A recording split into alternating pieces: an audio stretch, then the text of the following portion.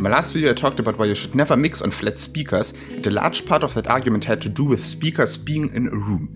However, with headphones, there is no room, so it's a completely different story, right? However, already in the 70s there was this experiment where they wanted to test how headphones compare to speakers. Basically, a person would sit in front of a pair of speakers in a reflection-free environment and hear very narrow bands of noise through the speakers, then puts on the headphones, hears the same narrow band of noise through the headphones, and adjusts the level so they are the same. The resulting frequency curve is called the free field headphone target curve, because you're basically in a free field with no reflections. Sounds great in theory, right?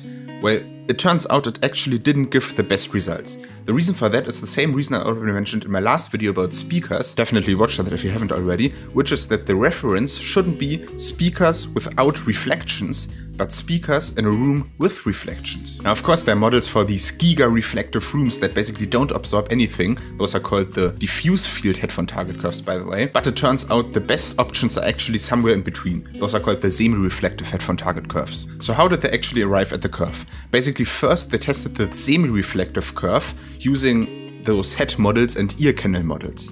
After that, they tested the curve they arrived at against many other curves by just listener experience. So as you can see, Harman is the company that developed the curve and their curve actually performed a lot better than the curve they had before and many other curves that popular headphones had.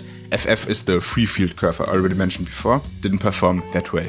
After that there were also many studies where listeners basically had headphones with that curve, but they could manually adjust the amount of bass and treble. And as you can see, actually listeners preferred significantly more bass than the curve determined and also a bit less treble. Now you might say, but Simon, if listeners prefer so much more bass and also a bit less treble, doesn't that mean that the curve just wasn't that good to begin with? The answer to that question is that we don't really know why listeners prefer so much more bass and a bit less treble. The only thing we know is that listeners just do prefer them, so we have to work with it. Now, I don't want to bore you for too long with like the history of the Harman curve, but one thing that I think is also very interesting to see that they also measured in their experiments is that there actually is a difference in, for example, gender. As you can see, male listeners actually prefer a little bit more bass and also a bit more treble. Like to be fair, there were only 27 female participants, but still those differences look significant to me.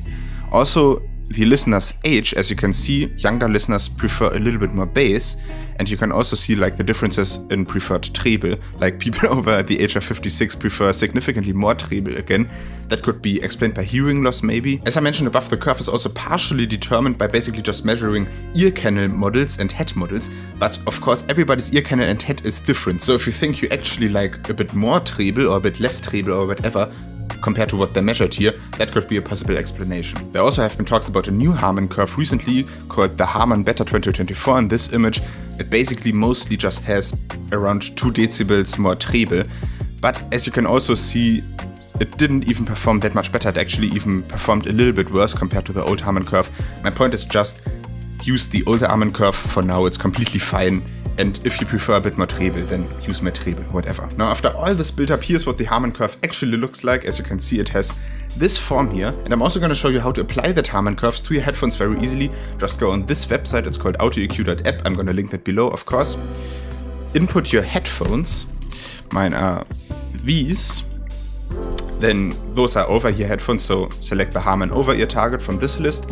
As I mentioned before, for Windows I recommend Equalizer APO, so just select the right program from the list here. They support several ones, whatever, and download it. Yeah, only already downloaded it whatever. After that, open Equalizer APO, go on the plus, go on include, select the file we just downloaded. I already have it here, so I'm not going to do it again.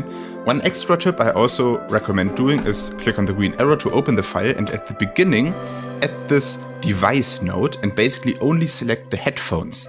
That way the EQ curve will only be applied if you use the headphones and not if you use, for example, your speakers, because your speakers obviously have a different correction curve.